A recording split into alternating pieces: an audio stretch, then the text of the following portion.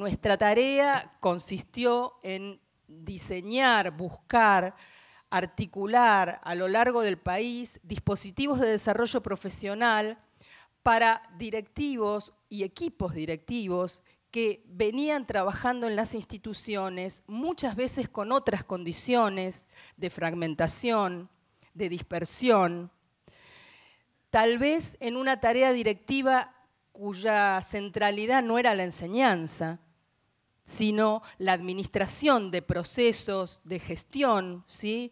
pensados cómo llevar adelante un orden ya existente. Muchas veces institutos alejados de las escuelas, centrados en una transmisión disciplinar y pedagógica, pero no necesariamente articulada entre sí, la, dimensión disciplinar y la dimensión pedagógica de esa formación. De modo que concebimos en, estos, en esos años un proceso de trabajo que lo, fuimos instrumentando de distintos modos, pero que terminamos lo, lo terminamos denominando el gobierno de la formación docente y el trabajo del directivo, acerca de un accionar político. Todo el tiempo trabajamos con esta idea de que es el posicionamiento político del director el que encarna en el día a día de las instituciones, tanto de los institutos como de las escuelas, la posibilidad de lo político, de generar novedad, de crear lo que todavía no está, en lugar de pensar en sostener un orden ya instituido, ya dado, que no venía dando cuenta, en todo caso, a partir de los diagnósticos previos a la creación eh, o, a la puesta en marcha del Infod, por ejemplo, no venían dando cuenta de una formación docente articulada a un proyecto político pedagógico más amplio. En ese momento eh, decidimos tomar algunos ejes claves, ¿sí? a partir que se fueron, fueron cobrando fuerza a partir de conocer cada vez más eh, lo que decían los propios directivos, equipos directivos, coordinadores de carreras a lo largo de todo el país. Y focalizamos en justamente la idea de accionar político, ¿sí? de qué quiere decir una posición política en educación y más aún en el lugar de un directivo y en términos de gobierno. Un segundo eje central fue el repensar críticamente qué decimos cuando decimos trayectoria formativa. El concepto de trayectoria, todos ustedes lo saben, se nos ha ido instalando en educación y en la formación y como mucho nos ocurre con algunos conceptos, se va como neutralizando, lavando, perdiendo el significado potente a veces que puede tener. Entonces instalamos una discusión en torno a la trayectoria como cuestión institucional. ¿Qué implica que la trayectoria no sea un derrotero puramente individual de cada uno y cada una de las estudiantes, sino que fundamentalmente esas trayectorias pueden ser pensadas como cuestiones institucionales a reconfigurar, a fortalecer, a diversificar, responsabilidad de una organización que forma. Y finalmente, un tercer eje al que le dimos particular énfasis fue el de repensar la reconfiguración de un ejercicio de autoridad. Una autoridad que fuera habilitante de estos procesos de democratización, más que justamente salir a discutir la pérdida de autoridad o la mm, destitución de esos lugares de autoridad en, contextos democráticos para reponer el sentido de la autoridad como un articulador entre políticas y prácticas, como un favorecedor del trabajo del otro y del sostenimiento de una organización que forma. Entonces, poner a jugar ahí de qué modo esa autoridad habilitante del equipo directivo, pero no solo, de los formadores, tuvo que ver con un sostenimiento, tenía que ver básicamente con un sostenimiento de un proyecto político formativo. y no solo, como decía antes, concebida en términos de una mera administración ¿sí? o gestión de procesos ya cristalizados en las instituciones. Nuestra hipótesis de trabajo partió de la idea de que nuestra tarea política, la del equipo formador desde el Infod, tenía que ver con buscar las vías de superar esa fragmentación, esa dispersión o desarticulación en donde la formación docente parecía a veces a espaldas de un sistema educativo. Eh, y recontextualizar las tramas, los contextos, eh, pensar al, equipo directivo de una institución formadora eh, profundamente enlazado con unas políticas jurisdiccionales que a la vez traducían o traducen ¿sí? unas políticas nacionales que comenzaron a desplegarse desde ese momento a partir de la Ley Nacional de Educación. Ubicamos entonces al equipo directivo como un traductor, un intérprete, alguien que está allí, lejos de un posicionamiento de sometimiento al, imperativo de, las políticas o a un mero reproductor de lo que las políticas le dicen, como un actor eh, profundamente creativo en marcos políticos, normativos, eh, diseñados para sostener su lugar, eh, generar la posibilidad de que él encontrara la propia voz en cada instituto, él o ella, encontrara esa voz que le diera sentido ¿sí? a poder llevar adelante estos procesos eh, democratizadores. La hipótesis era que el trabajo de los equipos directivos de los institutos como de cualquier institución, demanda de soportes, de relaciones, de perspectivas específicas acerca de lo que implica gobernar, que son de índole política e institucional.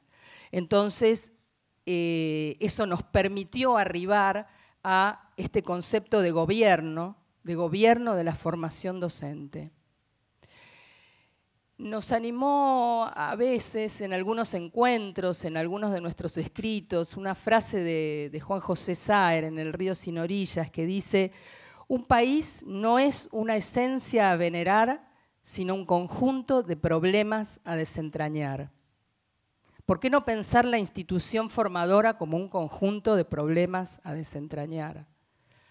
No una esencia de una formación docente supuestamente definida ya de antemano, histórica o tradicionalmente constituida, sino como ese conjunto de tensiones permanentes, ese proyecto como obra abierta, siempre en apertura y siempre a construir con otros la apertura del equipo directivo y de la idea de gobierno era a construir ese gobierno con otros en distintos contextos, sin el abandono de la responsabilidad que les propia a cada uno. Algunas premisas del trabajo realizado en torno a este accionar político del director. Hablar de trabajo político supone concebir y reconocer que los espacios sociales, los espacios institucionales no, son, no forman parte de un orden natural, que siempre se componen en un equilibrio inestable, precario, y hay siempre una trama que se va rasgando, que se va tensando, que va perdiendo hilos y que hay que recomponer una y otra vez. Y como ese orden establecido no, está dado, no está establecido de, antemano, ni está dado naturalmente, ni por definición, es que hace falta ese trabajo político de vida en común. Vida en común que no tiene cualquier propósito ni cualquier sentido, sino que es el de formar docentes y formarlos en los actuales contextos históricos. Eh, y la necesidad de lugares de gobierno la revalorización, la puesta en valor de esos lugares de autoridad que se hacen cargo de los múltiples litigios que hacen a la vida en común en contextos democráticos. a la definición de destinos comunes pero que no invalidan o que no inhiben de ningún modo las singularidades en juego. Se nos propuso ahí entonces, o nos pusimos por delante la tarea de discutir qué quiere decir construir lo común. Y entonces, em, yo les diría como buscar en los propios procesos de desarrollo profesional con los directores, cómo se articula en esta construcción de lo común lo universal y lo singular. No como una oposición, ¿sí?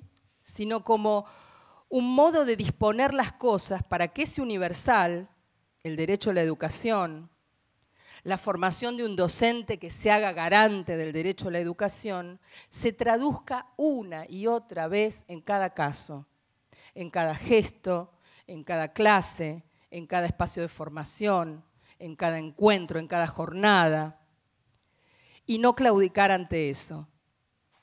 Conflictos todo el tiempo.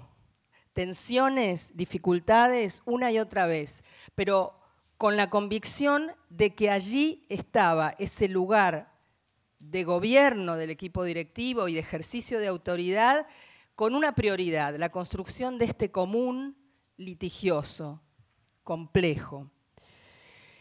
Eh, cuando, cuando nos propusimos avanzar en términos de, problematizar la idea de trayectoria, así como la idea o el concepto de autoridad, nos dispusimos a, conmover algunas cuestiones eh, muy instaladas en, en algunos discursos de la formación docente, que es el tema de la trayectoria de los estudiantes. Trayectorias en principio dificultosas porque estos y estas estudiantes no llegan, o ¿no? el discurso dice, no llegan a los institutos con esas capacidades necesarias para formarse como docentes, para entrar a, un ámbito académico. Las trayectorias pensadas como derroteros individuales, individuales, socialmente determinados, eh, muy determinados a veces por los contextos de, origen de los estudiantes que llegan a los institutos.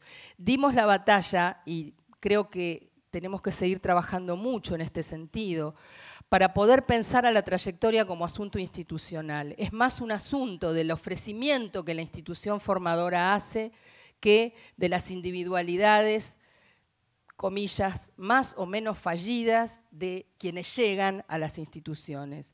Y también concebirla como un cruce de trayectorias. No hay trayectoria alguna sin un encuentro con la trayectoria de un formador, de una formadora, de un directivo, que a su vez porta consigo unos modos de pensar la formación, de circular la palabra, de autorizar. Y ahí es donde el concepto de autoridad vino a, trabajar fuerte esta posición directiva, ¿sí?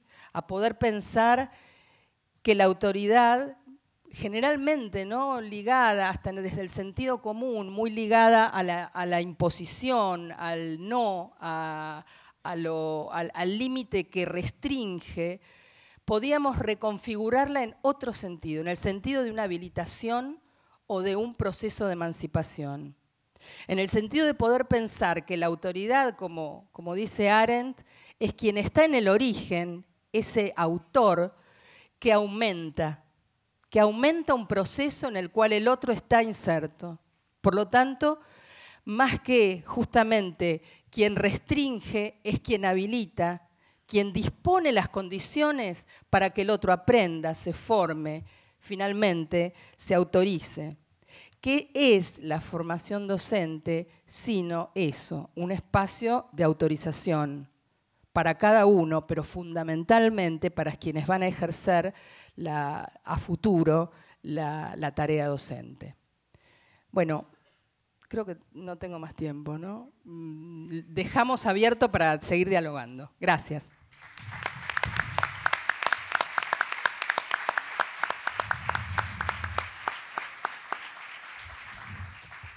Bueno, a continuación eh, está Isabelino Siede, que es doctor en Ciencias de la Educación, licenciado en Ciencias de la Educación también por la UBA.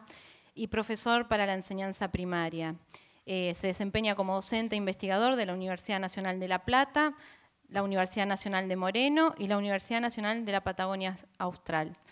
Ha publicado diversos eh, textos, libros, entre los cuales se encuentra Peripecia de los Derechos Humanos en el currículo escolar de Argentina, que va a ser presentado al cierre de este panel, y también participó en la elaboración de diseños curriculares en la Ciudad de Buenos Aires y en la provincia de Buenos Aires, Córdoba y Chubut. Así que le agradecemos sus palabras. Buenos días.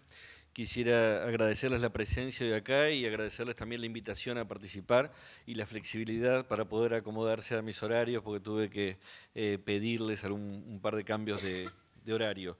Eh, quisiera empezar pensando esta, esta presentación eh, en torno a la pregunta hacia dónde van las políticas educativas. ¿no? Estamos, creo yo, todos consternados todavía eh, porque no cualquier ministro se, le ocurre interpretar su propia política educativa en términos de un genocidio. Eh, decir que estamos iniciando una conquista del desierto, pero ahora de carácter educativo, es de una honestidad brutal. Digamos, me, me parece que lo más lo más tremendo no es que lo diga, sino que efectivamente lo piense. Es decir, que, eh, que, oriente las políticas que se están llevando adelante en términos de ir a civilizar bárbaros, en términos de ir a ocupar algo que está desierto. Y me parece que en torno a esa, a esa mm, expresión del ministro podemos pensar también algo de las de las continuidades y las justaposiciones y las contradicciones que ha habido en el sistema educativo y que se expresan como políticas desde los ministerios y desde las prácticas pedagógicas y didácticas en el aula. Porque efectivamente, en la, llamada conquista del desierto, eh, después de la espada, la iglesia y la escuela llevaron la pluma y la palabra porque efectivamente el mismo general que llevó adelante esa conquista del desierto, después como presidente, acompañó la aprobación de la ley de educación común, que fue uno de los hitos fundantes del sistema educativo argentino. Y también en esa línea, el que llevó adelante todo el debate para poder instaurar en la Argentina una escuela gratuita y obligatoria, era el mismo que siendo gobernador de San Juan pedía y aplaudía la muerte del Sancho Peñalosa. Digamos, la escuela argentina nació con sangre y buena parte de la escuela ha sido la continuación de la guerra por otros medios.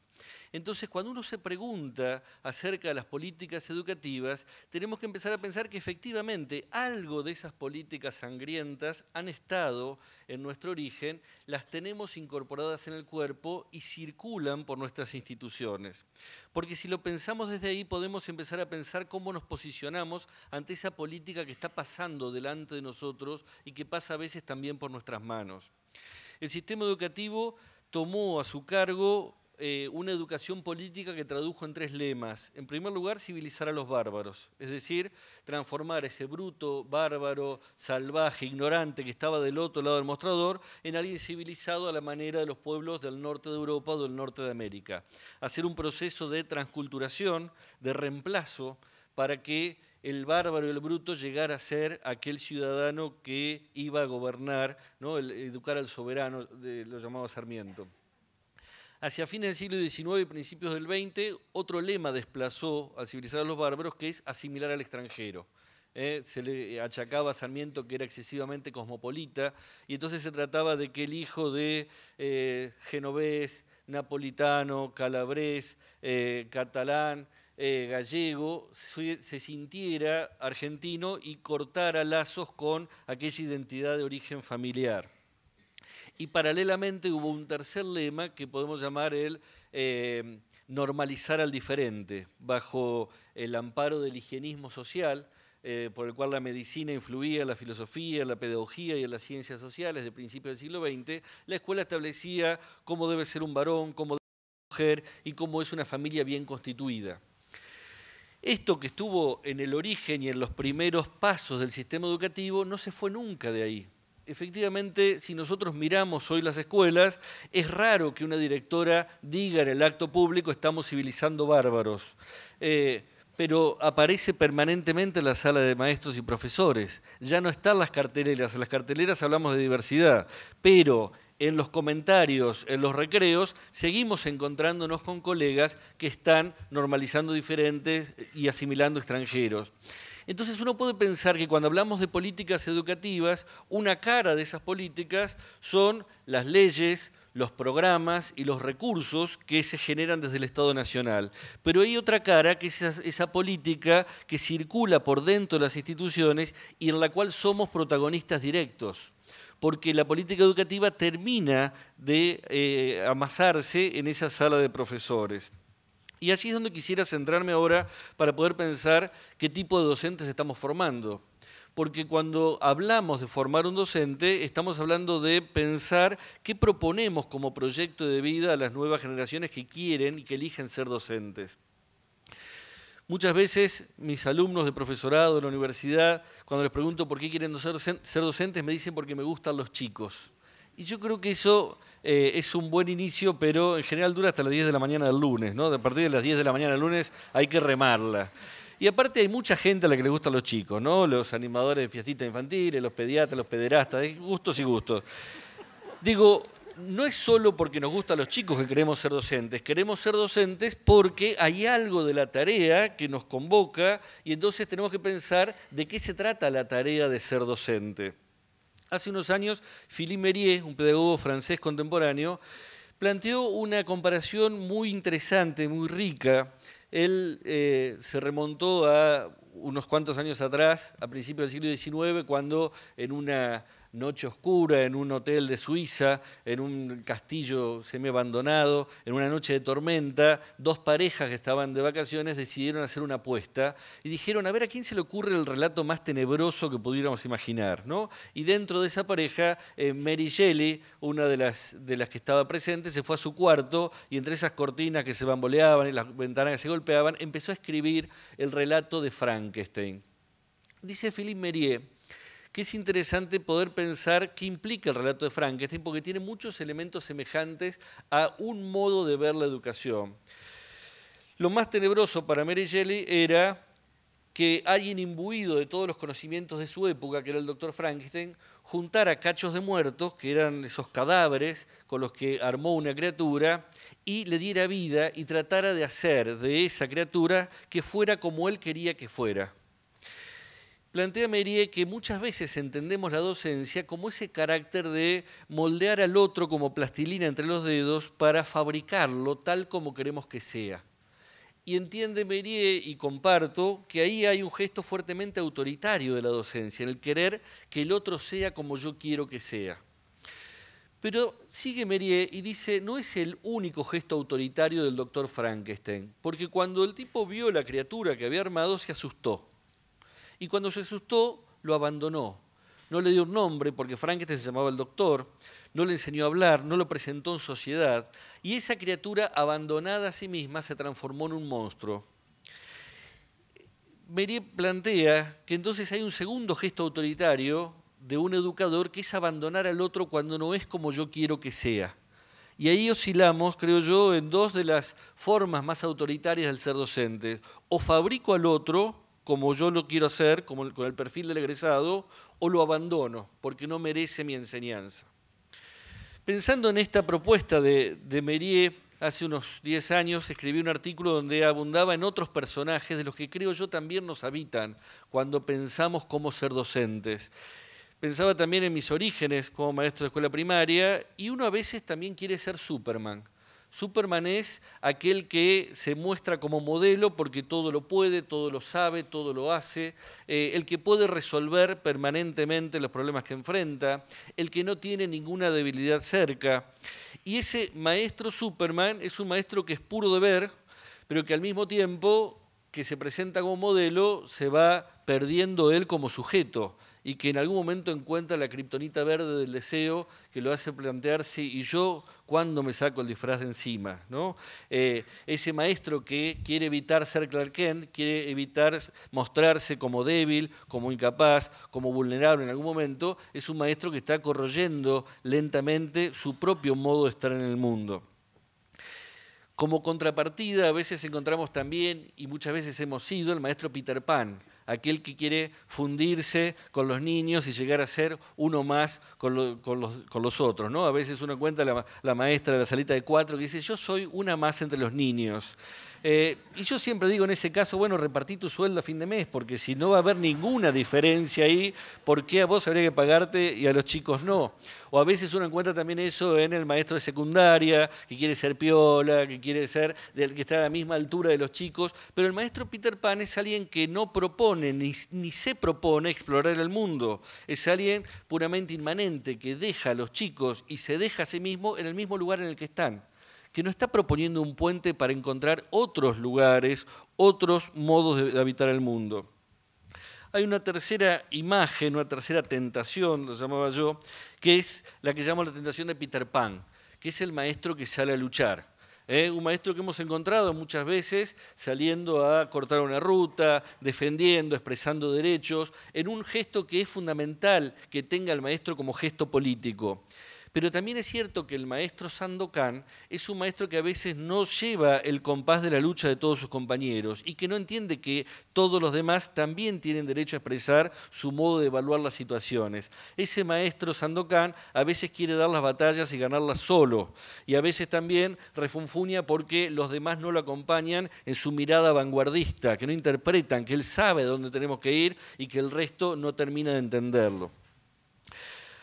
Hay una una tentación que llamé la tentación del genio de la botella. Quizás recuerden en las mil y una noches hay un relato de un pescador que eh, tiró las redes durante todo el día y no pescaba nada.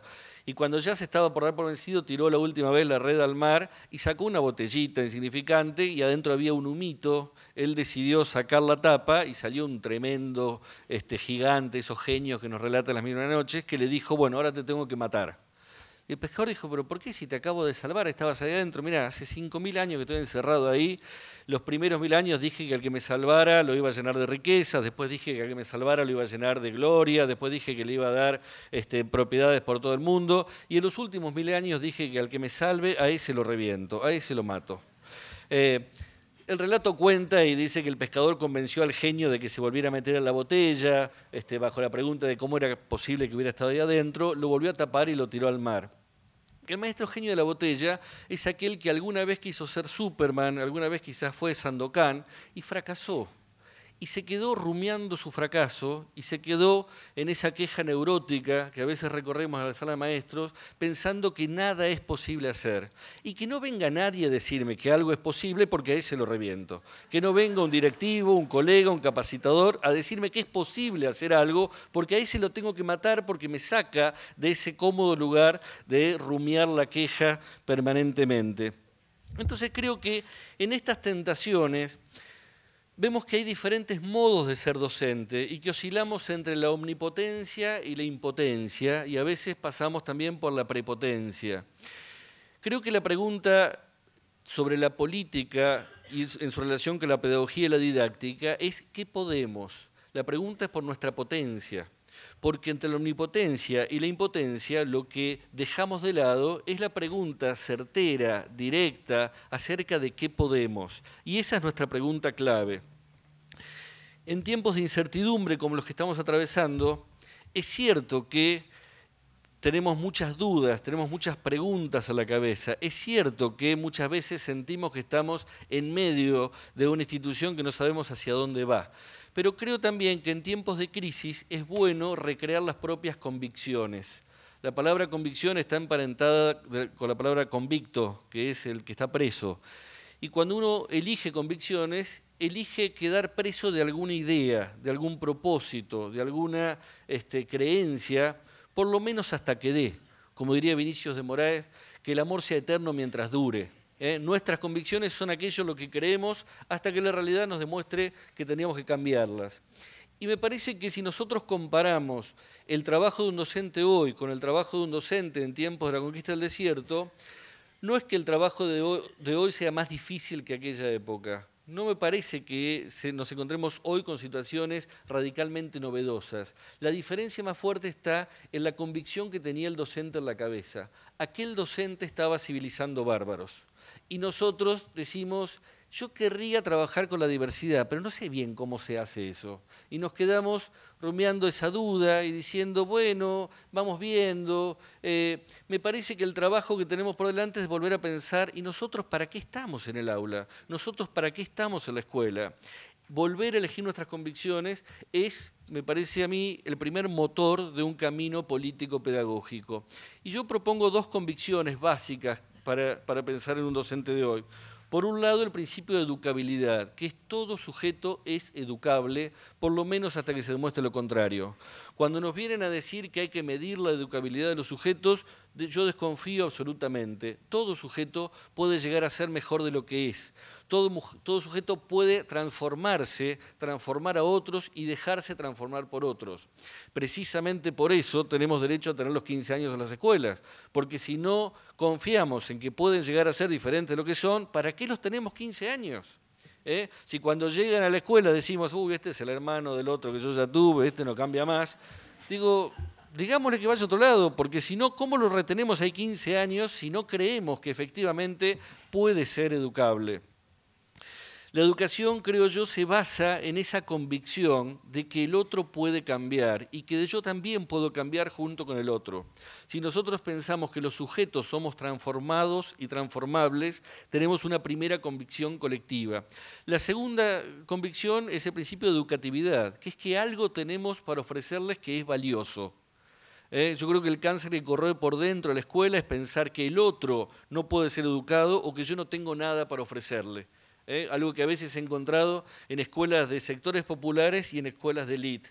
Me acuerdo hace un tiempo trabajaba en una escuela de élite de la colectividad judía y en una escuela de ciudad oculta. Y en los dos equipos docentes me encontraba colegas que decían, ¿y a este chico para qué le va a servir lo que yo le enseño? ¿No? Si vive ahí en la villa, si está condenado a vivir la vida de sus padres, ¿Para qué le sirve que yo le enseñe lo que tengo para enseñar?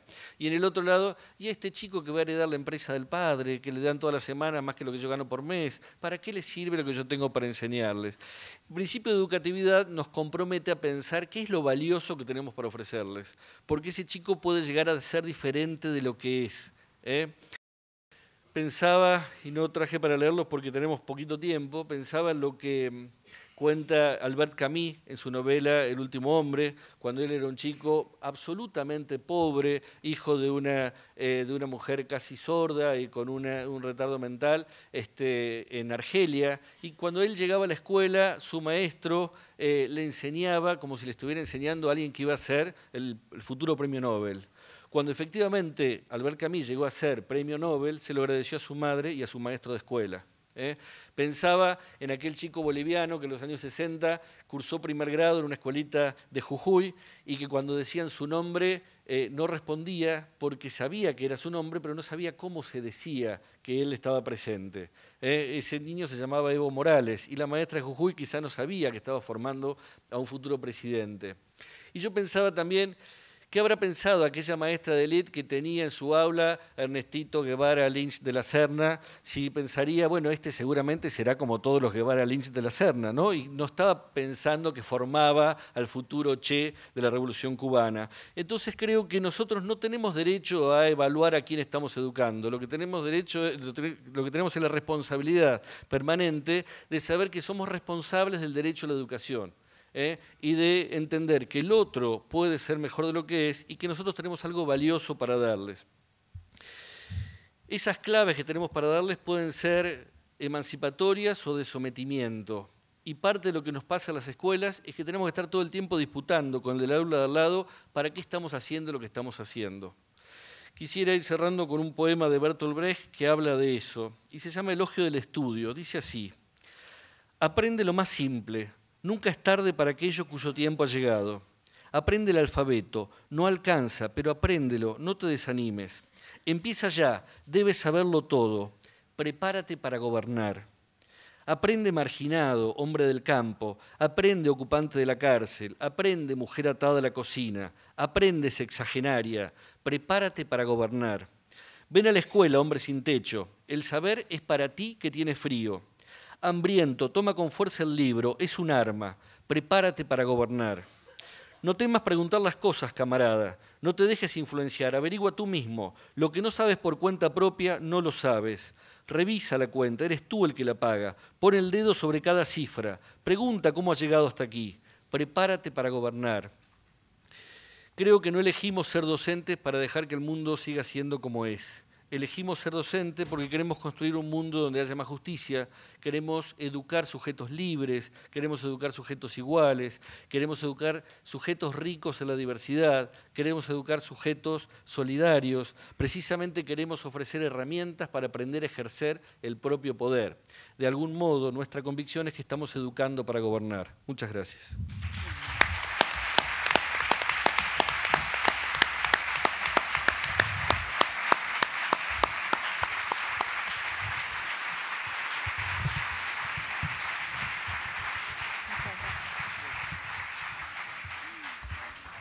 Bueno, por último, eh, Eduardo Rinesi eh, es licenciado en Ciencia Política, máster en Ciencias Sociales por Flaxo y doctor en Filosofía.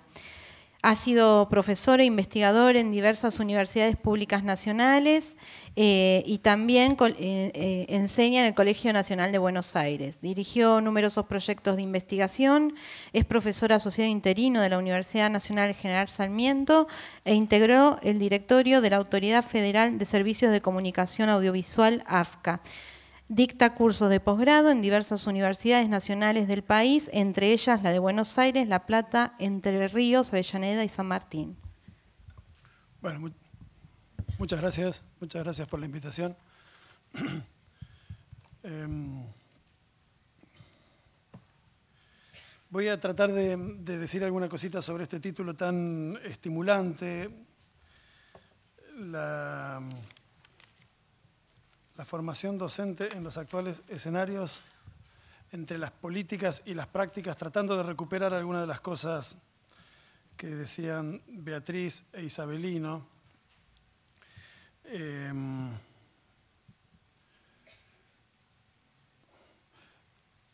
en primer lugar, respecto a la, a la relación entre políticas y prácticas, esto es, entre grandes orientaciones cambiantes y en, un contexto particularmente eh, dramático en el que parece evidente que asistimos a un punto de inflexión importante en relación con la orientación de esas políticas y unas prácticas en las que, como decía Beatriz, nos preguntamos qué marcas de orientaciones políticas anteriores quedan o cómo las hacemos quedar, allí donde advertimos el riesgo de que alguna de esas orientaciones se pierdan o se reviertan incluso muy dramáticamente. Y en, relación con, un asunto que me parece fundamental, fue utilizada en, alguna de las exposiciones la, la expresión contextos democráticos. ¿no? Y, es evidente que poder discutir estas cuestiones en un contexto democrático es sin duda una buena noticia. Ahora, también es evidente que los modos en los que decimos esta idea de democracia,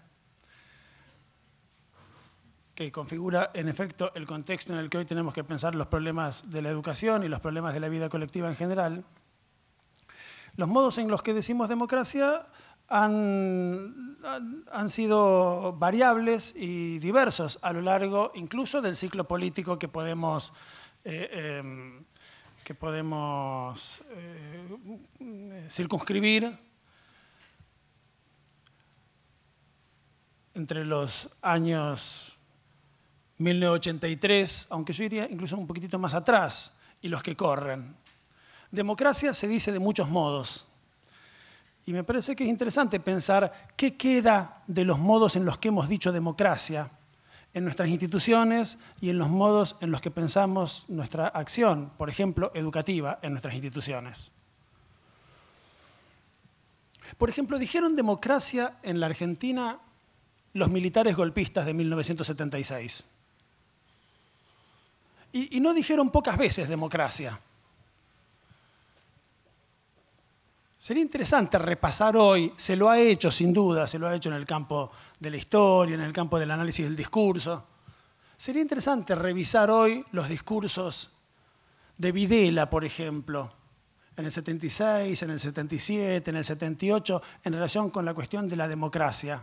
Palabra que incorporaba con frecuencia en sus discursos, para hablar bien de esa palabra y para contraponerla con tres valores contra los cuales la idea de democracia que postulaba se levantaba. El de la anarquía, el de la corrupción y el del populismo. La democracia que pensaban los militares golpistas en 1976 era una democracia entendida como orden, y me viene ahora el recuerdo de algunos escritos de mi querido amigo y maestro Oscar Landi sobre el discurso autoritario de la dictadura y sobre el modo en que en él se articulaban un discurso político, militar, autoritario y un discurso económico neoliberal igualmente ordenancista una idea de la democracia como orden contra la anarquía, contra la corrupción y contra el populismo. Es interesante reflexionar sobre este sentido que le daba la idea de democracia la derecha militar golpista en la Argentina y preguntarnos si acaso ha desaparecido por completo esa representación de qué cosa sería un orden democrático en las representaciones de la derecha que todavía tenemos. Después la democracia fue dicha en otros sentidos más estimulantes y más recuperables. En los 80 pensamos la democracia como una utopía y como una utopía sobre todo de la libertad. En los 90 pensamos la democracia como una rutina, como una práctica más o menos desangelada o desencantada, que llegó a desilusionarnos un poco, al punto de que terminamos esa década gritando que se fueran todos, y sospechando que había algo en esas instituciones de la democracia poco convincente. Durante unos pocos meses, a fines del 2001, comienzos del 2002, meses sobre los que todavía tenemos que pensar mejor, porque lo que pensamos mientras transcurrían e incluso un poco después nos deja todavía sumamente insatisfechos, pensamos la democracia más bien como un espasmo, como un espasmo intenso, interesante, vivificante, breve. Y allí la idea no era tanto la idea de la libertad, la idea era más bien la idea de la participación. Y me parece que en los tres primeros lustros del siglo XXI se nos fue representando una idea sobre la democracia en coincidencia con algunos procesos que ocurrían en otras partes de América Latina también, más bien como un proceso no como una utopía, no como una rutina, no como un espasmo, sino como un proceso, como un proceso de ampliación, profundización, universalización, sobre todo de una cosa, que no era ya primariamente la libertad, que no era ya primariamente las posibilidades de participación, sino que era, en primer lugar, los derechos.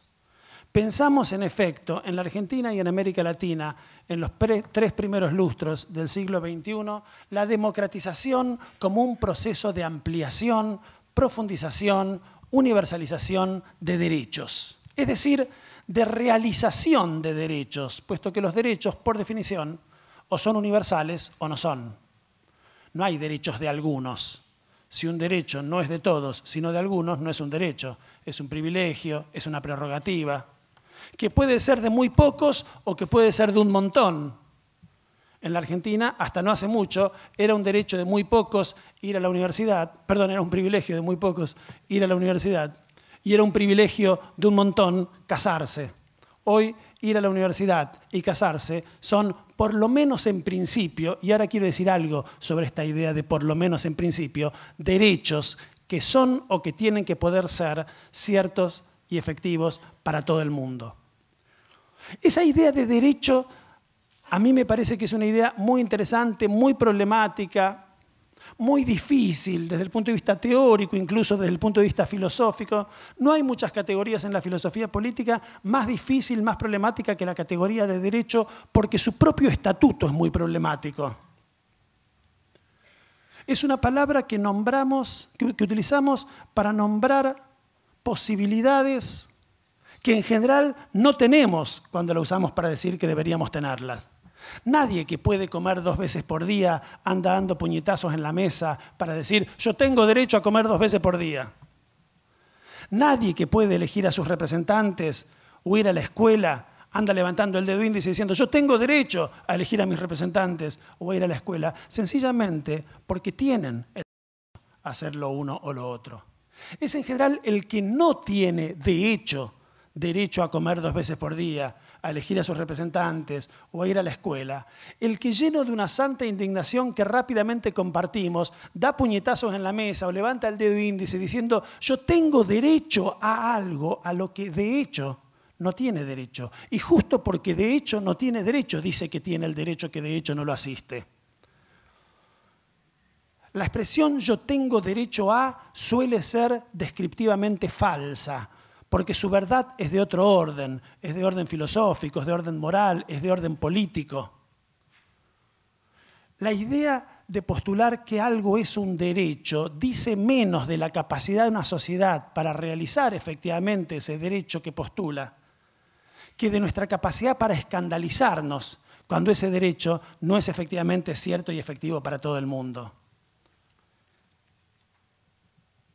Y a mí me parece que en la Argentina hemos progresado mucho.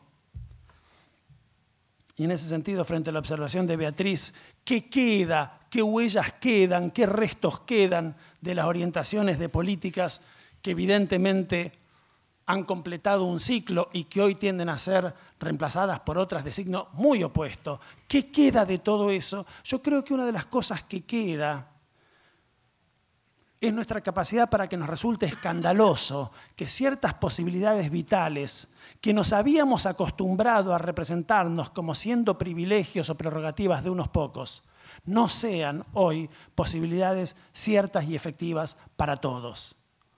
Hoy nos resultaría escandaloso, impensable, que una cantidad de cosas que hemos incorporado a nuestras representaciones y a nuestras leyes, por ejemplo, la Ley de Educación Nacional, por ejemplo, la Ley de Educación Superior después de la reforma operada sobre la misma e impugnada judicialmente por tres rectores de tres universidades públicas argentinas, a fin del año pasado y que establece hoy en lo que constituye un, un, avance muy interesante que la educación superior es un derecho humano universal, recogiendo una interesantísima inspiración de la declaración final de la Conferencia Regional de Educación Superior del IESALC, de la UNESCO, de Cartagena de Indias en el año 2008, que empieza diciendo lo cual es absolutamente extraordinario, revolucionario, inédito que la universidad, una institución tradicionalmente elitista, minoritaria, jerárquica, excluyente, que siempre se pensó a sí misma a lo largo de los más o menos mil años que tiene en la historia de las culturas de los países de Occidente, como lo que siempre fue una máquina de fabricar elites, hoy es un derecho humano universal, un bien público y social y una responsabilidad de los estados. A mí me parece que eso haya podido ser escrito en América Latina en el año 2008, igual que que eso no haya pasado la prueba de la conferencia no ya regional, sino mundial de educación superior al año siguiente en París en 2009, donde recibieron a la delegación latinoamericana diciendo son ustedes muchachos macanudos, nos parece lindísima su declaración del año pasado, pero ni sueñen con que aquí en París vamos a votar que la universidad es un derecho humano universal porque aquí en París tenemos claro que la universidad es un negocio. Entonces, me parece que que eso se haya podido pensar en América Latina es absolutamente importante y deja marcas, deja huellas en los modos en los que tienen que funcionar nuestras instituciones y en los modos en los que tienen que funcionar las representaciones con las que las habitamos y con las que desarrollamos en ellas nuestro trabajo. A mí me parece importante preguntarse qué quiere decir que la educación es un derecho. ¿Qué quiere decir si no es una pura consigna que la educación es un derecho? Y me gustaría, tenemos muy poquitos minutos, pero me gustaría desdoblar esa pregunta en dos. La primera para preguntarme y responderme muy rápidamente cuál es el sujeto de ese derecho. ¿Quién es el sujeto del derecho a la educación? En los modos habituales en los que en nuestras sociedades fuertemente individualistas tendemos a representarnos los derechos, tendemos a suponer que los sujetos de los derechos son los individuos. Y eso está bien, sin duda, y enseguida me voy a explayar sobre eso. Pero querría decir muy rápidamente, antes de ir allí, que me parece interesante pensar que hay algunos derechos, por ejemplo, el derecho a la salud, por ejemplo, el derecho a la comunicación, que hay una ley de la nación que dice que es un derecho humano universal, por ejemplo, el derecho a la educación, que son no solamente derechos individuales, sino también derechos colectivos del pueblo.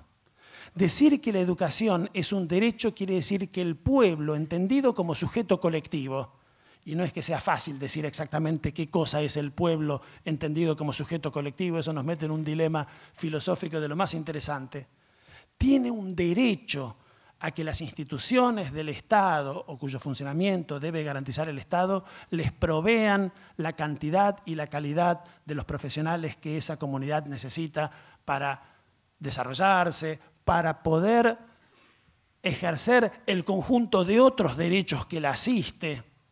Decir que un país, que un, pueblo tiene un derecho a la salud quiere decir, entre otras muchas cosas, que tiene un derecho a que las universidades de su Estado formen los profesionales de la salud necesarios para que ese derecho no sea un derecho puramente nominal o abstracto. A mí me parece que es importante e interesante pensar el conjunto de consecuencias que tiene representarnos el derecho a la educación, como varios otros derechos también, como un derecho no solamente individual, sino también colectivo, pero entendido en el sentido más sencillo, digamos, que nos permite pensarlo como un derecho de los individuos. Es importante preguntarnos, y es importante hacerlo en el contexto de una jornada de reflexión sobre la formación docente, ¿qué quiere decir sostener que la educación es un derecho. Y para decirlo del modo más simple posible, yo querría decir que significa entender que cada una de las chicas y cada uno de los muchachos que está sentado frente a nosotros en un aula no es un tipo o una tipa al que le estamos haciendo el favor de enseñarle alguna cosa en los ratos libres que nos dejan obligaciones más importantes, hay que ver los modos en los que funciona esta representación en nuestras universidades, donde siempre tenemos papers que escribir para algún congreso al que hay que presentar abstracts y keywords y qué sé yo cuántas cosas, sino que es el sujeto de un derecho que lo asiste y del que, como decía la compañera en, en el panel inaugural, nosotros los docentes somos responsables. Sostener que la educación es un derecho significa entender que cada uno de los estudiantes que tenemos es el sujeto de un derecho que lo asiste y del que nosotros, de cuya verificación efectiva y exitosa, nosotros, los docentes, nosotros, las instituciones, puesto que se trata de una responsabilidad individual, ciertamente, y esta no hay que relativizarla, ni excusarla en nombre de que hay una responsabilidad institucional, pero también, sin duda, institucional del que nosotros, instituciones e individuos, somos responsables. Y que no se limita ciertamente al puro derecho a estar allí. El derecho a ingresar a las instituciones educativas, el derecho a no ser expulsado en la puerta, ni por un policía feo, grandote y de bigotes, ni por un examen de ingreso, es condición necesaria, pero no suficiente del ejercicio del derecho a la educación, sino que consiste en el derecho a estar, a aprender, a avanzar, a romperse el alma estudiando y recibirse en plazos razonables que no dupliquen o a veces tripliquen los previstos teóricamente en los planes de estudio solo porque la corporación profesoral no logró resolver bien sus internas y tiene la vida de los estudiantes como rehenes es el derecho a hacer todo eso sin ser humillado una sola vez, sin ser mirado una sola vez durante el tiempo que lleve ese proceso, con cara de yo sé que vos no vas a poder. Es que nunca más tengamos que volver a escuchar en las salas de profesores de nuestras instituciones las expresiones que los cargan de responsabilidad a nuestros estudiantes por nuestro fracaso para enseñarles. Es no tener que escuchar nunca más la expresión vienen llenos de carencias, que sería un gracioso chiste de Macedonio Fernández, de no ser porque no es un chiste de Macedonio Fernández, sino la miserable excusa que nos damos para nuestra incapacidad para enseñarles. Representarnos la educación como un derecho significa nunca más cargar en los muchachos, en las chicas, en nuestros estudiantes,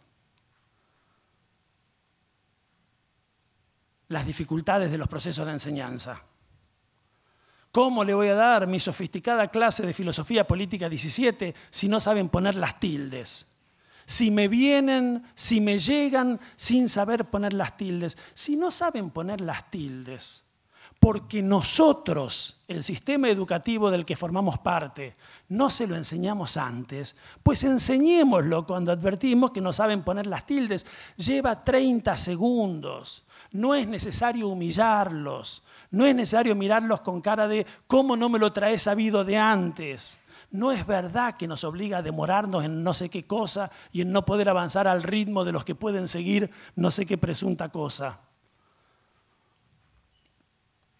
El derecho a la educación es el derecho a hacer todo eso y es el derecho a hacer todo eso en los más altos niveles de calidad sea como sea que la calidad se mida, y sabemos que aquí nos metemos en un problema dificilísimo. ¿Cómo se mide la calidad de un proceso educativo? ¿Cómo se mide la calidad de la enseñanza? Sea como sea que se la mida, las exigencias de la más alta calidad forman parte de lo que nombramos cuando decimos derecho a la educación. No es verdad que hay que elegir entre la calidad y la cantidad.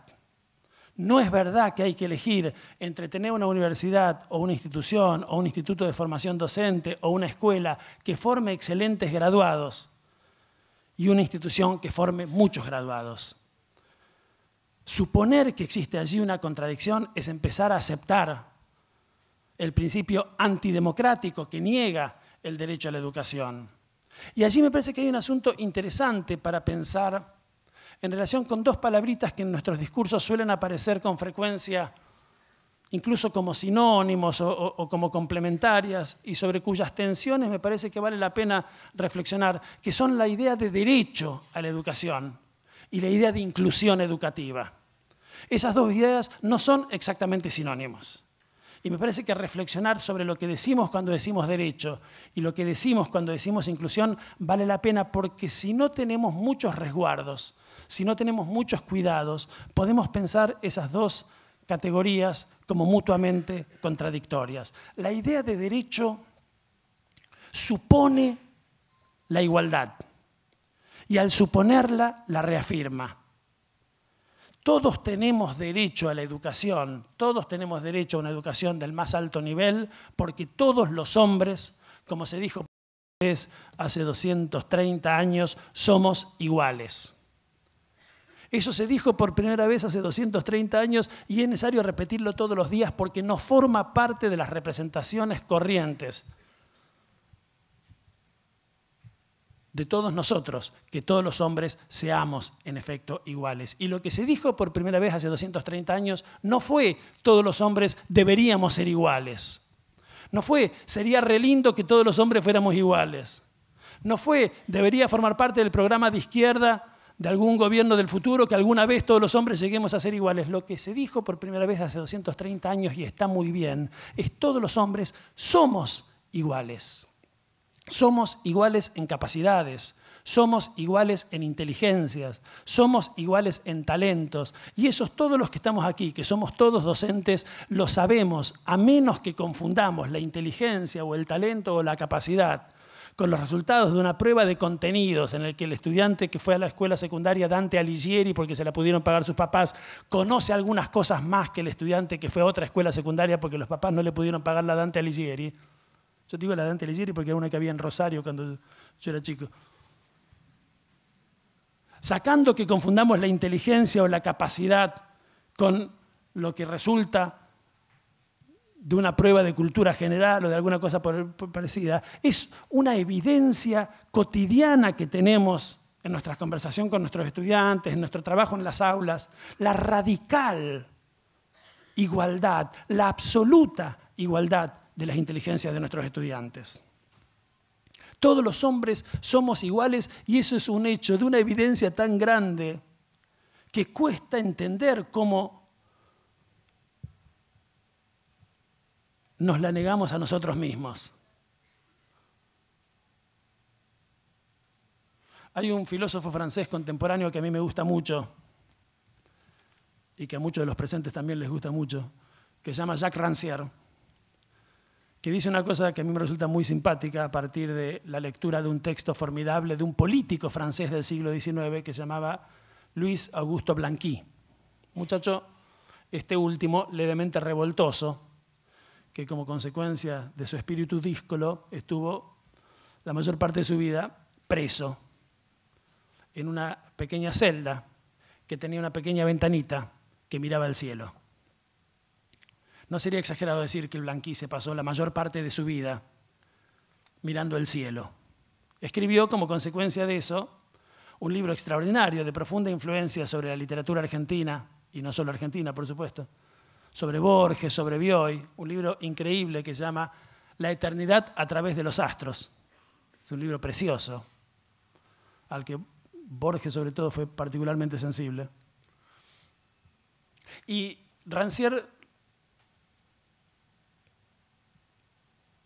glosa a Blanqui, forzándolo quizás un poquito, llevando, como suele decirse, agua para su molino de su tesis de una igualdad radical entre los hombres, diciendo que dice Blanqui que hace miles y miles de años todos los hombres, varones y mujeres, ricos y pobres, letrados e iletrados, venimos sospechando que hay un mensaje cifrado para nosotros en el paisaje misterioso del cielo estrellado. Que hace miles y miles de años todos los hombres, ricos y pobres, varones y mujeres, letrados e iletrados, venimos tratando de descifrar ese mensaje encerrado para nosotros en el paisaje misterioso del cielo estrellado. Y que desde hace miles y miles de años, todos los hombres, varones y mujeres, ricos y pobres, letrados e iletrados, venimos fracasando por igual todos exactamente igual en nuestro intento de descifrar el mensaje cifrado para nosotros en el paisaje misterioso del cielo estrellado. Esa impotencia común, esa incapacidad conmovedoramente igualitaria, a la que además Rancière le da un nombre muy bonito, la llama comunismo, es lo que demuestra de un modo incontestable la absoluta igualdad de nuestras inteligencias, que siempre es el ejercicio de enfrentarnos como un con un texto, eso es el paisaje misterioso del cielo estrellado, un texto. Hay otros que son paisajes misteriosos de palabras, de signos, en un pentagrama, en la página de un libro. ¿Quién puede decir que conoce el significado verdadero de una página de un libro, de un pentagrama, de una composición musical o del cielo estrellado, si todos estamos frente a ese montón de signos a los que nos enfrentamos de nuestra vida en la absoluta igualdad de nuestras inteligencias, tratando de lidiar como pueden con todo eso. Si todos los hombres somos iguales, todos los hombres tenemos, porque somos iguales, los mismos derechos. La idea de derecho supone la idea de igualdad y al suponerla la refuerza. La idea de inclusión, en cambio, presupone la desigualdad.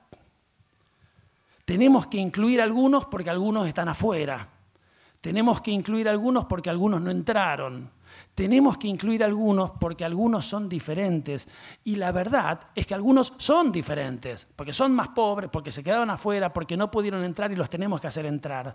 The problem is que muchas veces la idea de inclusión que presupone la diferencia puede confirmarla también si no la manejamos teniendo como su complemento gestáltico, digamos así, a la idea de derecho que es su necesaria contrapartida.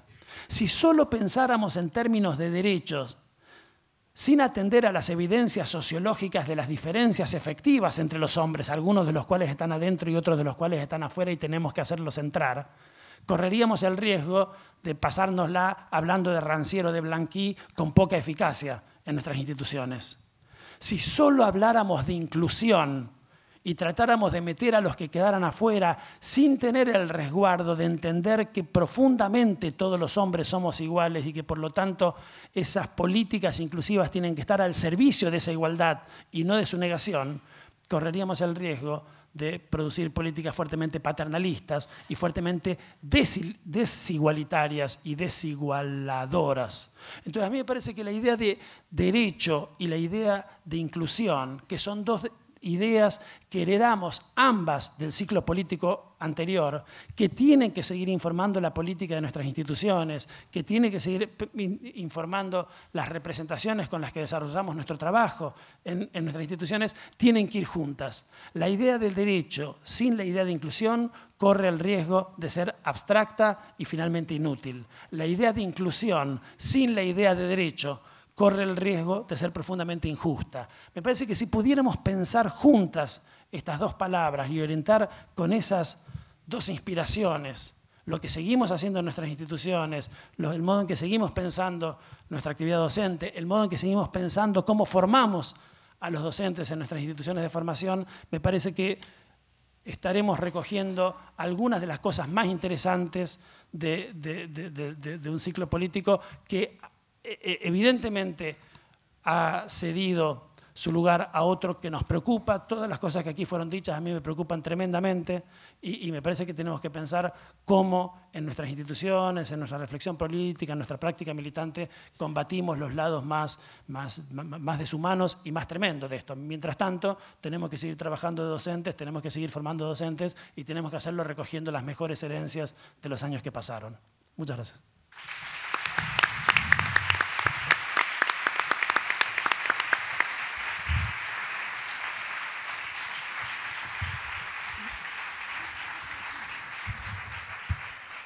Bueno, la idea en esta segunda parte del panel es que eh, si ustedes quieren plantear alguna pregunta, alguna inquietud a alguno de los panelistas, la puedan hacer.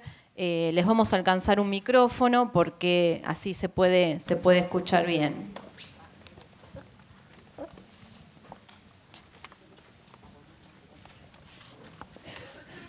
¿Alguien que quiera hacer alguna pregunta?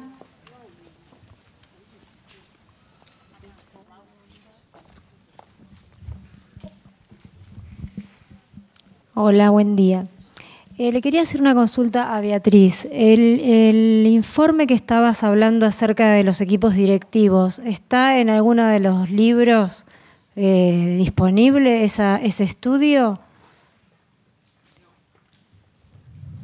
No, digamos, eh, las conceptualizaciones que trabajamos justamente para articular una concepción política y unas prácticas, eh, sí están en, los trabajos que, bueno, particularmente con Sandra de Castro hemos realizado en, términos de trayectorias eh, y, yo desarrollé en relación a autoridad pedagógica, pero así formulado, eh, bueno, es la primera vez que lo, que lo cuento.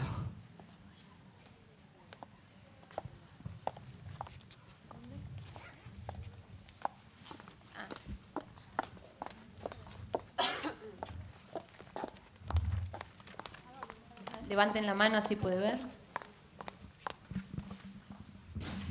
Hola, sí, ¿qué tal? Eh, a Eduardo le quería preguntar, eh, esto de la construcción del concepto de democracia, me pareció muy bueno esto que vos eh, retomás, esto de que la dictadura también hablaba del concepto de democracia. A mí lo que me preocupa es que en la práctica escolar y en las escuelas muchas veces el concepto de democracia no pasa más que ser una, eh, una no sé, como un buen término, digamos. Pero después, concretamente, en la institución, me parece que nos falta muchísimo avanzar en lo democrático. Y Beatriz un poco decía esta daba un poco el, desafío que tenemos de que la democracia realmente se instale en nuestras prácticas, en nuestras relaciones institucionales y también en nuestra relación con los alumnos. ¿Qué podrías aportar al respecto?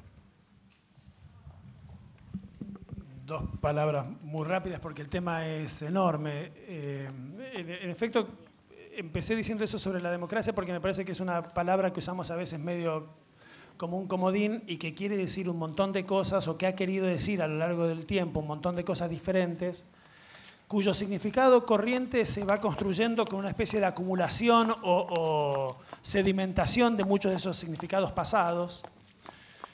Eh, eh, eh, rapidísimo, porque podríamos hablar un rato largo, pero me, parece que era muy razonable que en los años que siguieron a la feroz dictadura del 76 al 83, cuando decíamos democracia, representara más bien como una utopía de la libertad, digamos, y sobre todo de las libertades negativas, de las libertades ciudadanas, frente al poder político de un Estado al que veíamos ¿no? como emblema de, los mayores horrores.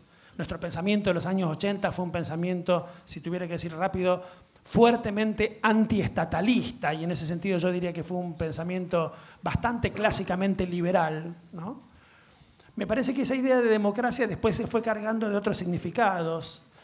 Yo, hay, hay, dos ideas que a mí me gustan mucho asociar con la idea de democracia y que me parece que corresponden a distintos momentos de este proceso que muy rápidamente presenté. Una es la idea de participación. Me parece que una sociedad es tanto más democrática cuantas más ocasiones de participación. Y, y, a mí me gusta mucho una filósofa canadiense que cada vez que dice participación, adjetiva, deliberativa y activa. ¿no? Es decir, participar no es participar en una reunión cuyos resultados después no tienen ningún efecto si un, gobierno de un Estado nos dice, señor vecino, participe, hágase usted mismo sus propias cloacas, uno puede decir, no, señor Estado, eso no es participar, eso es eximirle a usted de una obligación que usted tiene. Participar es participar en las discusiones, es participar en la discusión de cuáles son los problemas, es participar en la discusión de cuáles son las soluciones a esos problemas y es lograr que los resultados de esa discusión sean convertidos después en políticas públicas. En ese sentido, si una sociedad logra generar mecanismos amplios de participación, sin duda que es más democrática que si simplemente se sostiene sobre el principio representativo liberal clásico, según el cual los ciudadanos no deliberan ni gobiernan sino a través de sus representantes y esperan dos años para aplaudirlos o echarlos a través del voto. ¿no? Entonces, eso que vale para un país me parece que vale también para una institución y creo que las instituciones en general, las educativas entre ellas, las universitarias sin duda mucho más que las escuelas, porque las universidades gozan de autonomía en su forma de organizarse, etcétera, y pueden darse algunos lujos sobre los cuales les podría contar muchas cosas interesantes, por ejemplo, la experiencia de la implementación del presupuesto participativo como forma de asignación de recursos presupuestarios en universidades públicas o el modo de funcionamiento de consejos sociales asesores, etcétera. Creo que en general las instituciones pueden democratizar la forma en que se toman decisiones en su seno y eso eh, eh, a, través de generar formas más amplias de participación. Y, la otra, que es en lo que enfaticé más en, la presentación anterior y, y, subrayo de nuevo, es que me parece que una sociedad es tanto más democrática, no solamente, aunque esto es fundamental, cuantas más libertades tienen sus ciudadanos, sino también cuantos más derechos los asisten. Para mí la idea de democratización de una sociedad es inseparable de la idea de que tenemos que ir convirtiendo lo que naturalizamos como prerrogativas o privilegios de algunos en derechos de todos. Nos tiene que escandalizar que las posibilidades que son ciertas y efectivas para algunos no lo sean para otros y tenemos que poner los gobiernos de nuestras instituciones y los gobiernos de nuestros estados al servicio de garantizar que lo que pueden unos lo puedan los otros también. Me parece que por ese lado pensaría yo que es una sociedad más democrática. Sí, buen día. Eh, en principio, bueno, agradecer y felicitar el panel porque es excelente lo que, lo que estuvieron diciendo. La pregunta en realidad es para, para los tres, para cualquiera que lo, que lo quiera responder. Eh, lo último que escuché fue esta cuestión en relación al derecho y me quedó esta idea de que se utiliza como para designar algo que no se posee en derecho, en, de hecho, digamos, me, me gustó esa idea. Eh, la pregunta es la siguiente. Em, yo estoy convencido de que en los institutos de formación docente em, los estudiantes recibimos esta formación en respecto al derecho a la educación y que es algo que, tenemos que garantizar. los tres son investigadores, eh, eso escuché, ¿no? Con lo cual eso que se piensa en teoría después lo encuentran en la práctica, o lo, van a buscar en la práctica. ¿Qué es lo que sucede desde que uno egresa en calidad de docente e ingresa a las aulas? Que a veces se pierde esa idea de derecho a la educación y uno cae en esas posturas de gestión o de orden, ahí yo escuché orden, o de utopía. ¿Qué, qué es lo que piensan? ¿Qué pasa desde que uno se forma y luego sale del, instituto e ingresa al aula. No sé si se entiende la pregunta.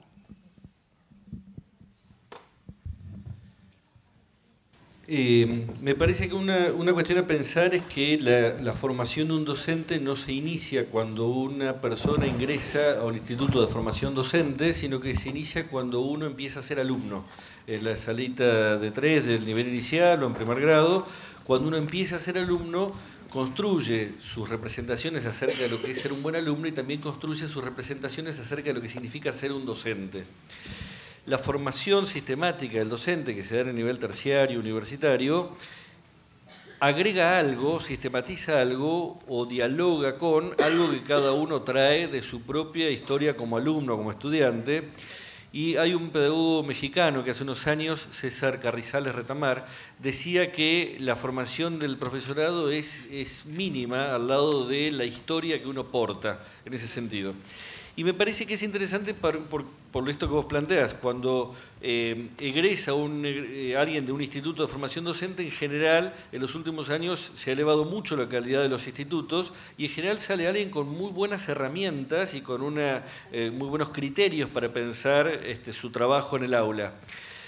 Pero cuando empieza a ejercer la docencia, los primeros años son generalmente este, cruciales porque empieza a emerger, a uno le sale de adentro lo que tiene incorporado, metido en el cuerpo, eh, y que empieza a activarse cuando uno está en el rol de docente. Y por otro lado, la institución misma va este, deglutiendo todo lo que uno tiene de docente Nobel y que va con ciertas expectativas, porque además es cierto que a veces el profesorado nos ha dado muy buenas herramientas teóricas, eh, pero pocas herramientas de la práctica cotidiana. Entonces un maestro recién recibido se pregunta, che, ¿cómo se llena un registro? ¿Y este, cómo completo una nota? Este, ¿Cómo tengo que organizar el acto? Hay un montón de cuestiones, o dónde está el botiquín, qué puedo hacer cuando viene un chico lastimado en el recreo y cuando no. Hay un montón de cuestiones prácticas de lo cotidiano donde uno sale bastante poco preparado del profesorado y eso hace que empiece a mirar al lado y termina haciendo lo mismo que ve. Con lo cual, me ha pasado también encontrarme con egresados recientes de profesorado que cinco o seis años después eran casi indistinguibles de los mismos profes que criticaban cuando estaban en el profesorado. Me parece que ahí convendría pensar estrategias para que la formación docente no se acabe cuando uno recibe el título de profesor, sino que haya instancias de seguimiento de los primeros años de ejercicio profesional, porque esos primeros años de ejercicio profesional son muy ricos y además efectivamente son los momentos donde uno encuentra que no está primero la teoría y después la práctica, sino que puede teorizar sobre su práctica, que es la, la forma más rica de teorizar. Y es también el momento, creo yo, donde eh, de, esa, eh, de esa situación colectiva que significa la formación del profesorado, muchas veces uno se encuentra solo en el aula y empieza a sentir la soledad del ejercicio de la profesión docente. Con lo cual, ofrecerles instancias de reflexión colectiva a los egresados recientes enriquecería mucho su trabajo y haría que no quedaran eh, inermes ante estas, ante estas situaciones. Hay también algunas cuestiones, con esto termino, eh, propias de la, formación docente que son en cierto sentido contradictorias.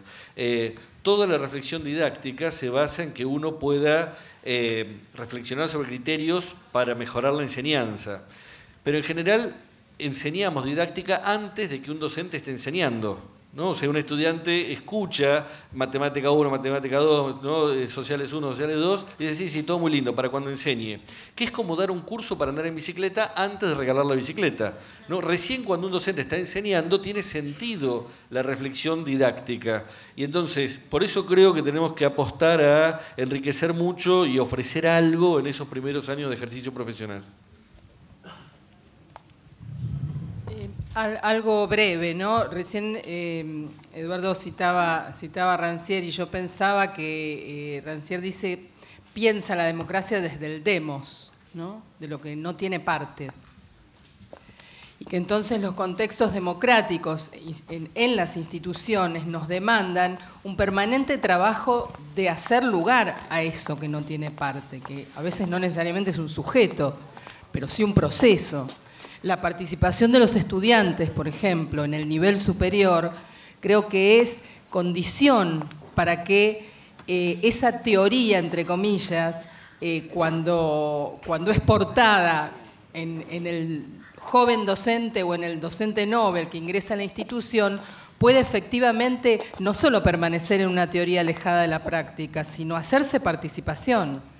Del mismo modo que eh, generar unas redes entre institutos y escuelas de un modo mucho más horizontal, de un modo que tenga que ver con el trabajo sostenido, con un desarrollo profesional mutuo. Me parece que los vasos comunicantes de los institutos con las escuelas en cuanto se favorezca esa red, eh, va a favorecer la, construcción y el sostenimiento de, esa formación inicial en la formación continua. Buenos días. Eh, bueno, muchas gracias, muy interesante lo que estuve escuchando. Y mm, en realidad no sé si es una pregunta o pensar juntos. Eh, Isabelino planteaba este doble origen de, la escuela como sangre, desde la sangre y pensarla hacia adelante.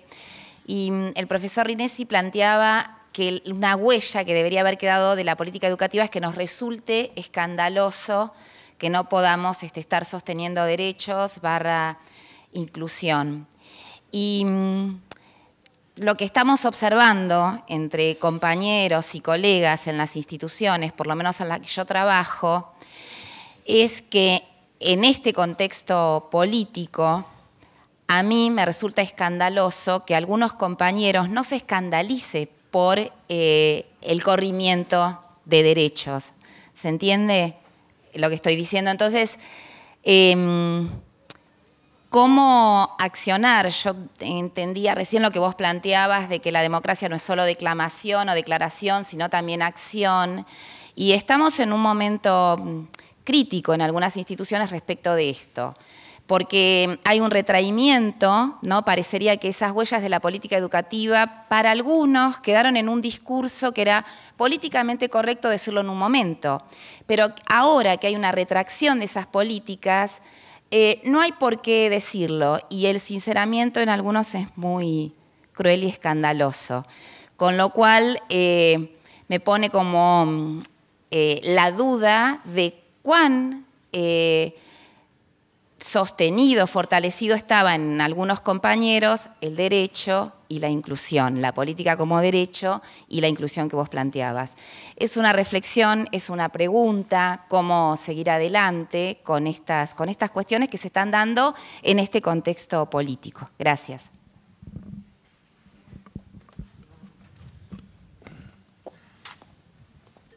Em,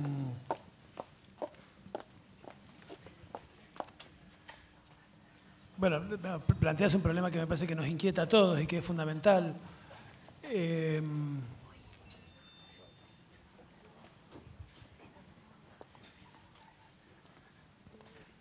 cuando yo sugería la idea de que el estatuto raro que tiene la idea de derecho, que postulamos que tenemos justo cuando de hecho no lo tenemos, quería llamar la atención sobre esa distancia entre el hecho y el derecho, entre el ser y el deber ser, si querés decirlo así. Sobre la que me parece que tenemos que reflexionar para entender por qué se pueden decir hoy palabras como sinceramiento y por qué se puede retroceder tan rápidamente respecto a ciertas eh, formulaciones que a las que nos habíamos acostumbrado en el último tiempo, porque había en todo eso algo que en efecto no se sostenía sobre el plano duro de los hechos. ¿no? Si seguimos diciendo que algunas cosas son derechos, es decir, que deberían serlo, es porque de hecho no lo son. Y el que dice, che, déjense de macana, ¿no ven cómo de hecho son las cosas? es el que puede asumir para ti, para, sí, el, título del, del, del, sincerador, ¿no? del que viene a acabar con las narraciones, con los relatos, con las macanas de los que decíamos que eran derechos, cosas que de hecho no eran derechos. ¿no? Bajarnos del cielo a la tierra. Y, eso me parece que nos, nos, obliga a pensar un poco el terreno político, moral y de expectativas compartidas sobre el que sostenemos nuestras posiciones en favor de que algunas cosas puedan seguir siendo representadas como derechos. El, autor que yo mencionaba recién, en otro lugar distinto de, sus interesantísimas reflexiones sobre Blanqui, hace, hace un lindísimo, una lindísima discusión con dos autores que están distanciados entre sí por 25 siglos, que son Platón y Bourdieu y dice que para Platón, la ciudad hay, como es bien sabido, guerreros, filósofos y zapateros. Los guerreros tienen alma de guerreros y por lo tanto deben ser guerreros. Los filósofos tienen alma de filósofos y por lo tanto tienen que ser filósofos. Los zapateros tienen alma de zapateros, por lo tanto zapatero a tus zapatos ni se te ocurra ser filósofo, puesto que no tenés el alma necesaria para ser filósofo. 25 siglos después, Pierre Bourdieu, dice Rancière, no piensa que los hombres tengan almas diferentes, pero hace las cuentas. Y nos informa que el día mismo en que nace en París el hijo de un matrimonio burgués, ese niño de cero días de vida tiene el 87.32% de posibilidades de convertirse en universitario. Y el día mismo en que nace en París el hijo de un matrimonio de zapateros, tiene el 2.25% de posibilidades de convertirse en universitario. Por lo tanto, para el buen sociólogo que describe cómo el mundo es y no que postula cómo el mundo debería ser, no se trata de presentar a los hombres como poseyendo almas diferentes, se trata apenas de constatar.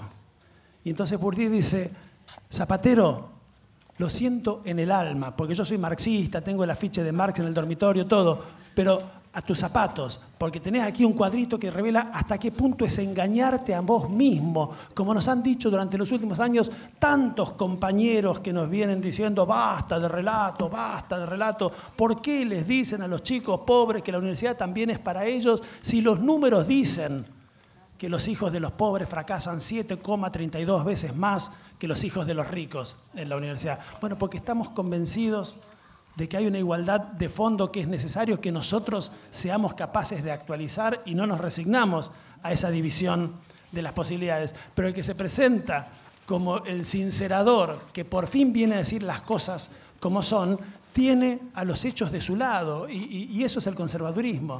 Levantar un criterio de verdad que se sostiene sobre tener los hechos del lado de uno. Los que queremos cambiar el mundo tenemos los hechos en contra, por eso lo queremos cambiar, porque los hechos no nos gustan y, y estamos en un problema, porque los hechos son duros.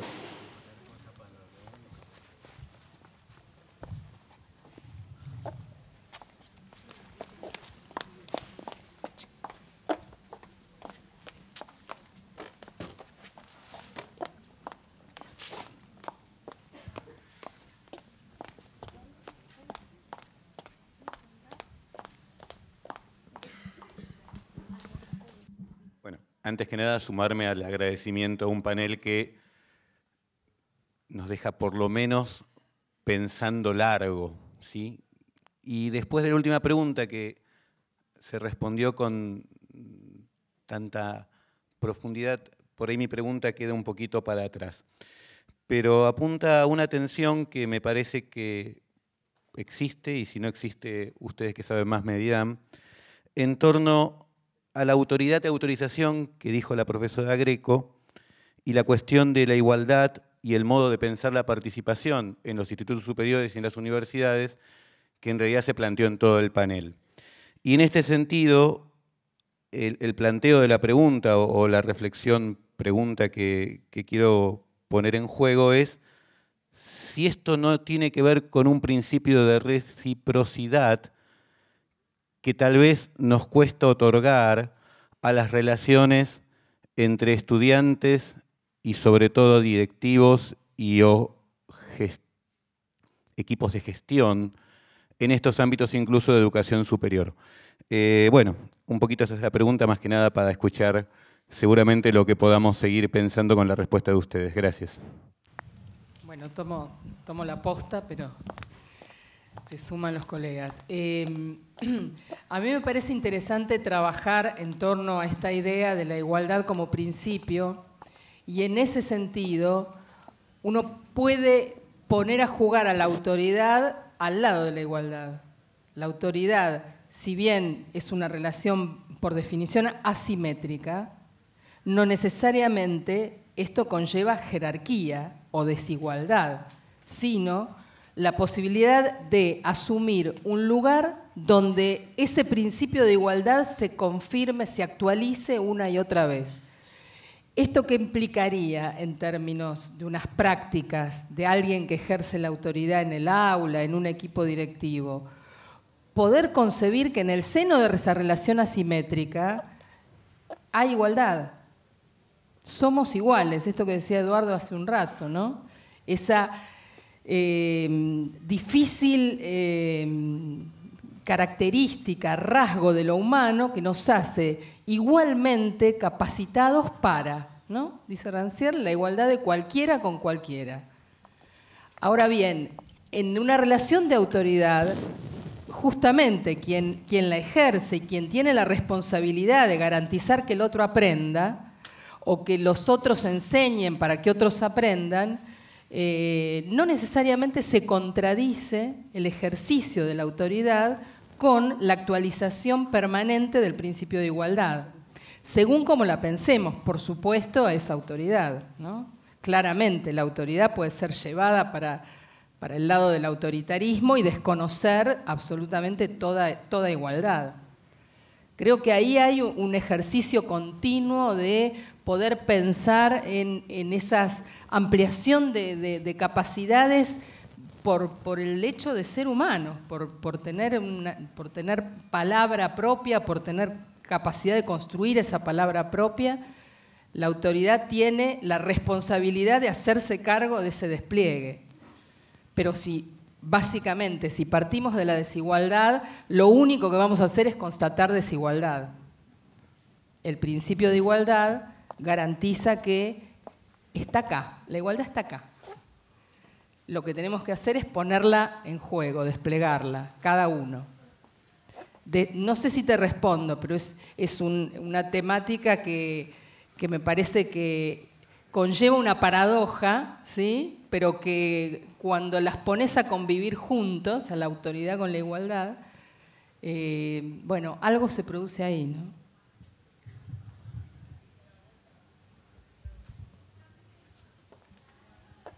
Tenemos tiempo para una pregunta más. No sé si quieren hacer alguna pregunta.